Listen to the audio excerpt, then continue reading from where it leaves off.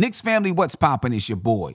According to Ian Begley, Cam Reddish is starting tonight, ladies and gentlemen, and that's coming from Tom Thibodeau.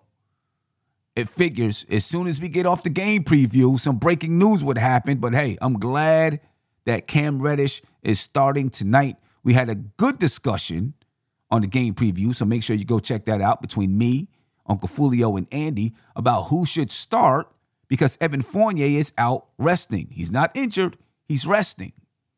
We all came to the conclusion that it should be Cam Reddish. Uncle Fulio thought maybe it would be Derrick Rose because he's the next guy up. But the reasons we thought it should be Cam Reddish are this one, defense.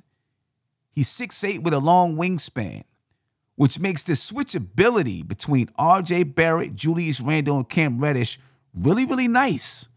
And when you're playing a team like the Indiana Pacers, who have a, a 6'5 shooting guard in Chris Duarte, a 6'4 small forward in Buddy Hield, and a 6'10 power forward in Jalen Smith, you know, those guys can switch between those three players pretty easy. Also, he can play the passing lanes.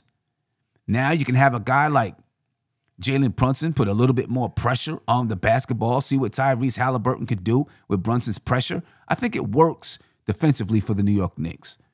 The question comes down to offense. See, with Evan Fournier in that starting lineup, and I believe he's a good fit there, he doesn't need the basketball in his hands. He can come off screens, catch and shoot, etc., etc. Can Cam do that?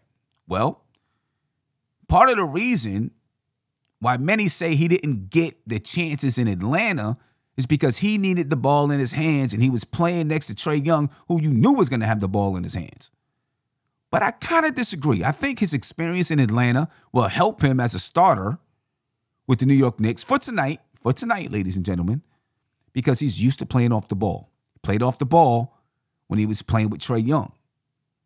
But also, Cam does a good job finding the seams in the offense. He's a slasher, he's a cutter.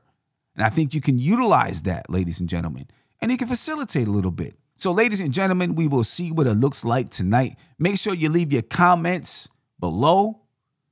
Check me out about 10 15 for the post game show. And I'm out. Peace.